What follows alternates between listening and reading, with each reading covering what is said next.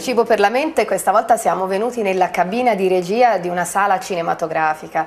Eh, questa è da dove il film parte. Sì, davvero, siamo in una cabina di regia speciale, la cabina del Cinema Odeon, che come sapete ospita tantissimi festival e iniziative culturali. Vediamo ancora delle pellicole su delle bovine, quindi si usano ancora, non siamo solo sul digitale. Ebbene sì, ai festival capita ancora di recuperare qualche pellicola quando parliamo di rassegne o di film che hanno ormai qualche anno e siamo qui per presentare un nuovo festival promosso dalla Toscana Film Commission. Esattamente, dall'8 all'11 maggio avremo sempre qui al Cinema Odeon il Festival di Cinema Giapponese che esiste già da qualche anno ma che quest'anno cambia veste e cambia anche nome, si chiamerà WA, Japan Film Festival, prevederà molte iniziative anche collaterali, quindi non solo cinema ma anche cucina, degustazioni, addirittura una parata di kimono che invaderà il centro storico di Firenze, quindi insomma tante occasioni per conoscere conoscere da vicino la cultura giapponese. E cosa ci puoi dire del cinema giapponese? Perché può essere interessante conoscerlo?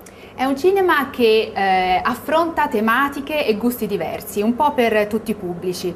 Avremo in questa edizione una rassegna specifica dedicata al documentario, eh, ma anche ai cortometraggi. Sono moltissimi giovani autori, soprattutto, che si avvicinano a questa tipologia di cinematografia.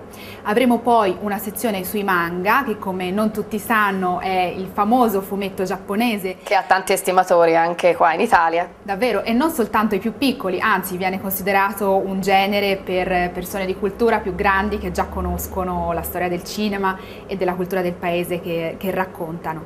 Eh, ci saranno poi, come anche l'anno scorso, tanti ospiti internazionali, sia produttori che registi, ma anche attori. E noi parliamo di un film in particolare che è quello che apre la rassegna Qual è? Ha un titolo un, un po', po difficile. devo dire, quindi mm, preferisco leggervelo.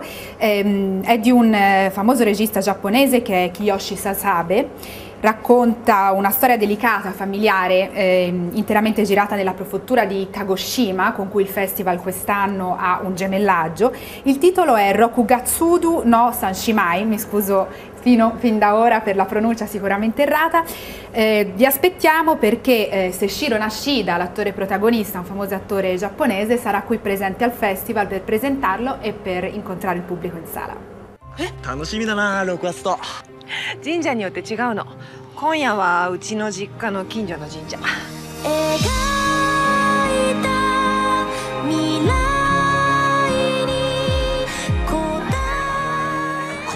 子商店街をシャッター